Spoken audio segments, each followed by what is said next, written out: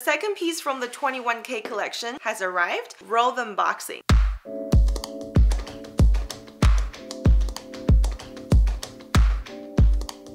Hey guys, welcome back to today's video. Second piece from the 21K collection has arrived and I'm stoked to be receiving it because when I was trying to pre-order this piece, I was informed each client can only order two SLGs per month going forward. Nonetheless, I have to get this one on hand because the 21K season is huge on the iridescent and I saw a lot of beautiful colors, so I couldn't keep my hands off of them. The very first item, as you guys know, I already unboxed. I'm going to put the link over here if you haven't watched it yet.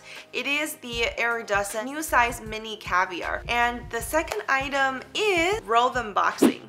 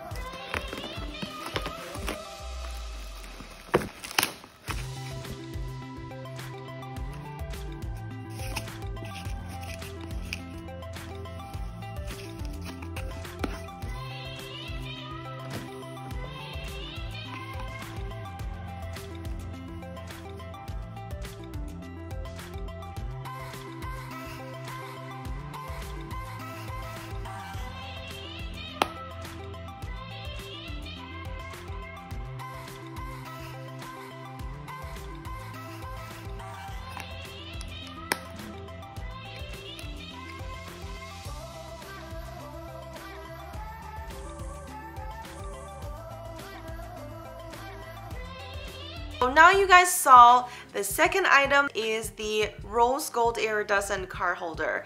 She is really beautiful in person as it has a very opaque kind of really light rose gold tone. The sheen though, I'm not sure if the camera can capture it as accurate as it is in person, but what I'm seeing here is rose gold with a very, very polished and kind of that pink and green mixed sheen. If I'm tilting it, in certain angle I see a little bit of metallic green and in some other angle I just see a metallic purple undertone, which is that pink purple kind of in between color that is mixed in with the green metallics. So it gives you the effect of rose gold. I will say this color is a little bit different than what I had in mind because I thought it is going to be more of a pinkish uh, iridescent hue, but in person, the green metallics are more dominant than um, the other color that's mixed in here. Nonetheless, I'm still very much in love because you guys know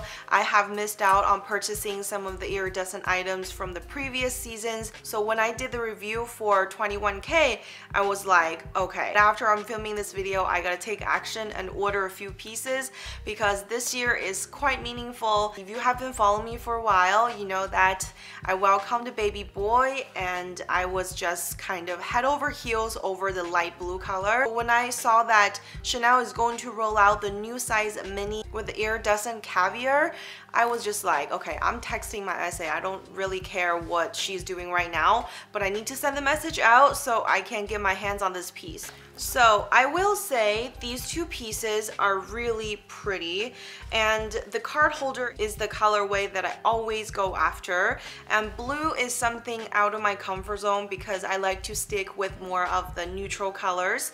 Um, but when I saw blue, I was like, wow, this is such an interesting color. And I love that the caviar texture is very pronounced on this leather. It does not look like it's been unboxed onto the leather where it's like a part of it and it's very shallow. The caviar print on here is really, really um, deeply impressed.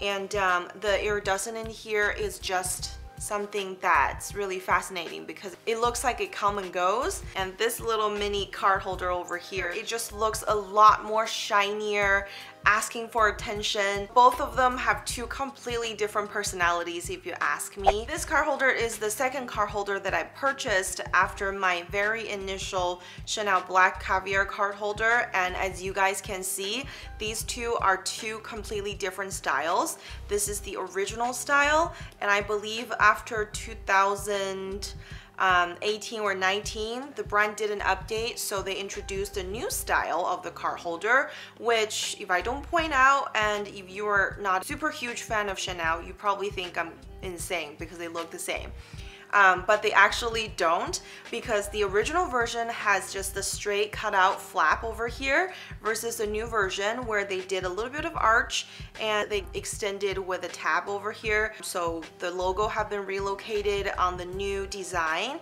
And other than that, I would say the side profile also looks slightly different. Well, this is because I have worn the crap out of my original one. This one, I'm going to test it out and see, you know, if after a few years of daily daily usage if it's going to turn out the same way. I would highly recommend this piece to you guys because it is a robust piece. If you are starting your SLG collection or you're looking for something that you can use for a long time and that's not crazy crazy expensive.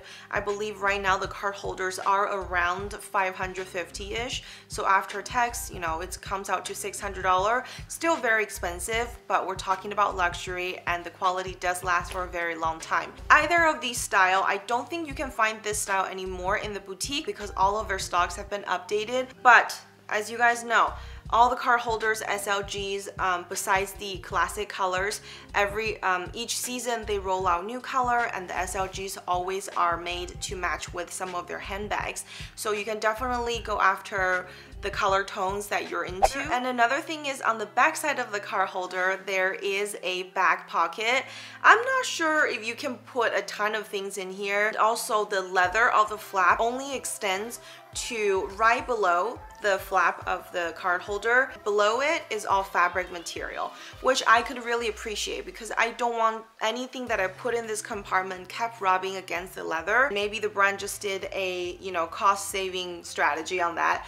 But um, on the inside of the car holder, it is completely fabric lined like all car holders. I just could appreciate how beautiful this color look both on the fabric and the leather. So this is a brief comparison, I guess, between the original style and the new style.